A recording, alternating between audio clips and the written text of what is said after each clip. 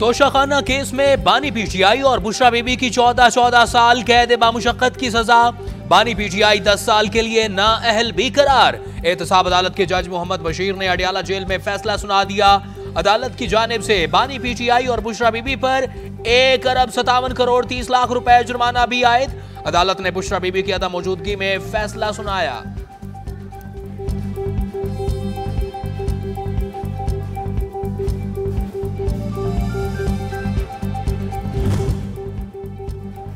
Toshakhana reference में अदालत की जानब से सजा सुनाए जाने के बाद बानी पीटीआई की अहलिया बुशरा बीबी ने खुद अदयाला जाकर गिरफ्तारी दे दी। नैब टीम ने उन्हें गिरफ़्तार कर लिया। बुशरा बीबी और बानी पीटीआई को अलग अलग सेल्स में रखा जाएगा।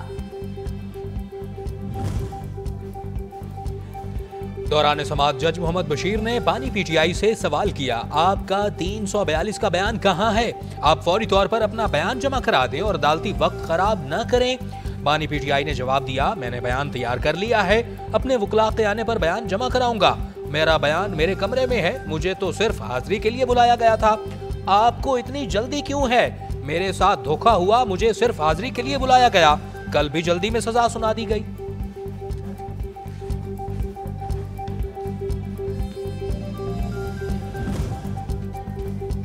एहतसाब अदालत के जज मोहम्मद बशीर ने अपने कैरियर में दो सबक वज्राय आज़म को सजाएँ सुनाई।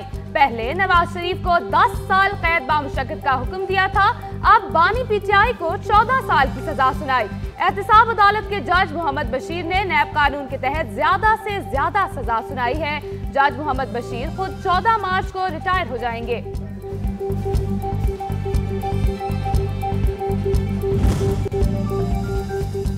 बुशरा बीबी का तोशाखाना केस से कोई ताल्लुक नहीं। एहतसाब अदालत ने माजी में ऐसा फैसला कभी नहीं दिया। वकील के होते हुए जिरह की इजाज़त नहीं दी गई। ये जुल्म हुआ है। एक लीडर को खुश करने के लिए सजाएँ दी जा रही हैं। Chairman PTI barrister Gohar Ali का रद्द अमल।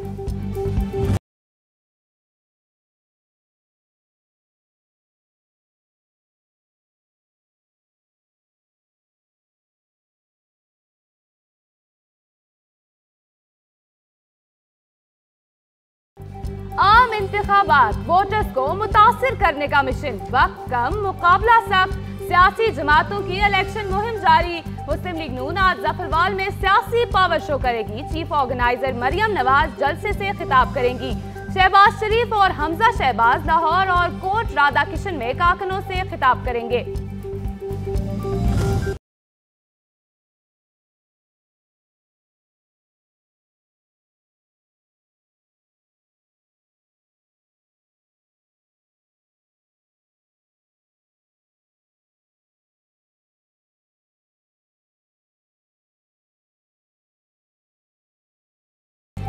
पाकिस्तान पीपल्स पार्टी का खैबर पख्तूनख्वा का रुख। आज मालाकुंड में पिंडाल सजाएगी बटखेला में जलसे की तैयारियाँ जारी।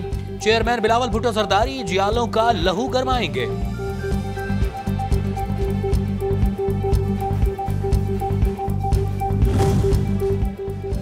जमात इस्लामी का आज बुनेर में जलसा होगा, पिंडाल सज गया। जलसे की तैयारियाँ हतमी मराहल में दाखिल। अमीर जमात इस्लामी सिराजुल हक कारकुनों से खिताब करेंगे।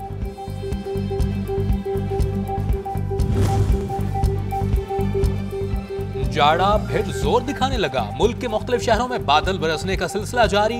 इस्लामाबाद और रावलपिंडी में वक्फे वक्फे से रिमझिम। लाहौर में भी बारिश ने रंग जमा दिया। कराची समेत सिंध की साहिली पट्टी पर आज भी बारिश का इम्कान।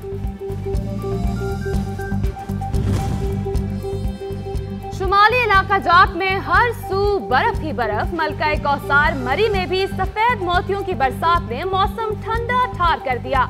सियाहों की मौज मस्ती। वादी नीलम में मुसलसल चौथे रोज बर्फबारी। वादी लीपा में भी पहाड़ों ने सफ़ेद चादर ओढ़ ली। जिला खैबर की वादी तीरा में साल की पहली बर्फबारी ने माहौल मशहूर कुन बना दिया। तवील खुशकुसाली के बाद बर्फबारी से वादी तीरा ने बर्फ़ की सफ़ेद चादर ओढ़ ली। बदलते मौसम के साथ सयाहों ने भी वादी का रुख कर लिया। पंजाब में नमूनिया से इंतहाई संगीन सूरत हाल, मजीद तेरह बच्चे दम तोड़ गए। सूबे में गुजशत 24 घंटे के दौरान नमूनिया के एक हज़ार पैंतालीस नए केसेस रिपोर्ट हुए। लाहौर में एक रोज के दौरान 248 नए केसेस सामने आए। महकमा सेहत पंजाब।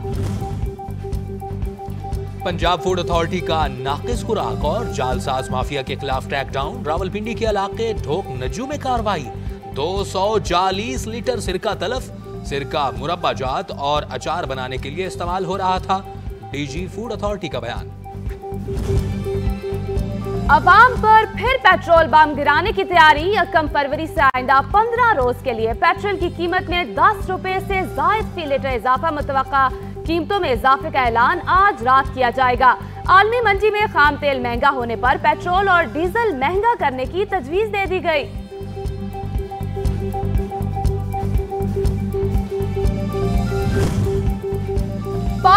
के जेर इंतज़ाम, जामिया पिशावर में दो रोजा अमन और सकाफती मेले का इनका सूबे के मुख्तलिफ़ इलाकों, बिलखसूस कबायली इलाकों से तलबा की बड़ी तादाद ने शिरकत की। फेस्टिवल में शरीक तलबा ने अमन मेले के इनका को सराहा और उसे मुख्तलिफ़ सकाफतों को समझने का ज़रिया करार दिया।